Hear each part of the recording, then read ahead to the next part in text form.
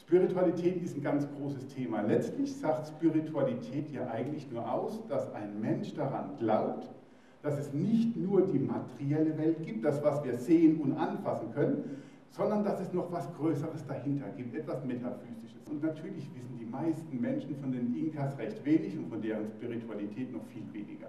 Aber es ist mal interessant, sich anzugucken, wie das Inka-Reich sich entwickelt hat, denn die haben vor mehr als 500 Jahren Probleme gelöst, vor denen wir heute hier in Europa und auf der ganzen Welt stehen. Energie kann nur leicht oder schwer sein. Energie für die Inkas als positiv und negativ zu betrachten, macht überhaupt keinen Sinn. Wie kann denn Leben negativ sein? Die Dinge, die mir im Leben begegnen, sind leicht oder schwer. Aber leicht und schwer hilft uns, Menschen sein zu lassen, wie. Oder, noch viel besser, ihnen zu helfen.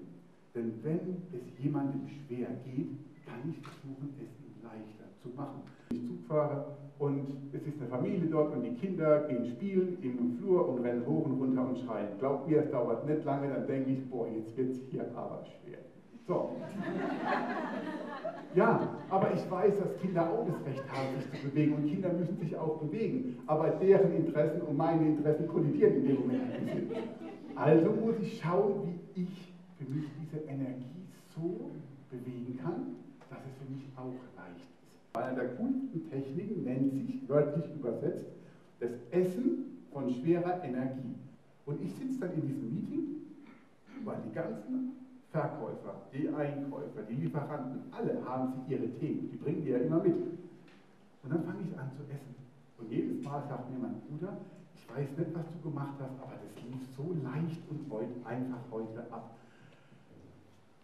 Das ist das, was ich eingangs sagte, mit Harmonie bringen, Harmonie erzeugen. Harmonie heißt für uns,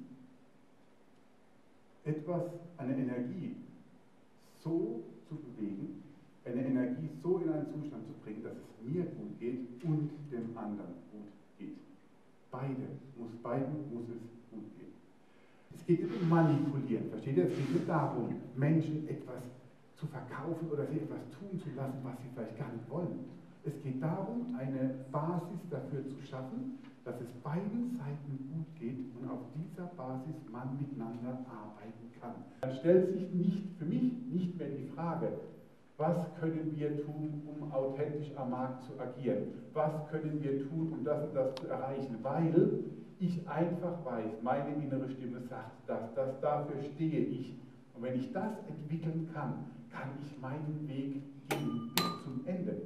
Und das ist dann das, was wir als gelebte Authentizität bezeichnen. Wenn ich in der Lage bin, das zu tun, was ich sage, gleichzeitig mein ganzes Herz hineinzugeben und dann noch meine Impulse kontrollieren kann, dann habe ich die vier zentralen Faktoren des Menschen harmonisiert und dann lebe ich diese Authentizität, weil ich dann in meiner Kraft bin.